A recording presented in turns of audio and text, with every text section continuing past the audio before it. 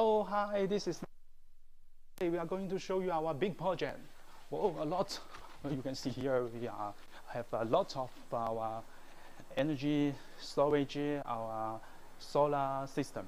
So now and now, more and more people are going to use the uh, solar energy, uh, going to use the lithium battery for the energy storage. And uh, for this project, our this project is for the telecommunication for outdoors. And now I'm going to show you more details of our system. So, so now we can see this is our cabinet.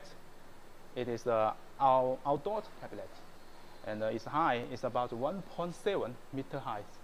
And uh, this one designed outdoor.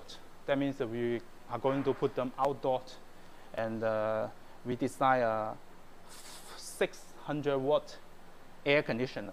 This air conditioner is AC air conditioner.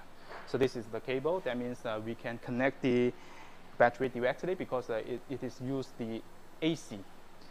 And uh, we have uh, also designed two pieces of the uh, lithium battery here. Each one is uh, 51.2 volt, 200 amps. That means each one is 10 kilowatt hour. So we have two pieces. We are going to make them in parallel connection. That means we have uh, 20 kilowatt hour power for this system. So that will be enough for most of the family or for some of the project. And besides, how can we charge this uh, battery? We have the MPPT here. The MPPT is the maximum power point tracking uh, technology for the solar.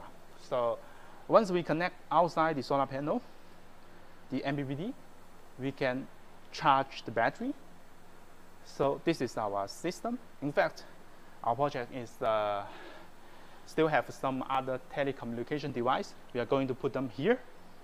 And uh, this will be a very good uh, solar energy storage, solar energy generation system for the outdoor telecommunication. Of course, we can do the other type of the uh, solar energy system, not only the telecommunication, but also the home use, the residential use, the commercial use, or the other kind of uh, system. If you need some of the project, if you need some uh, energy storage system, some solar system, please feel free to contact us for any further information. This is Leo from Bonjour Solar.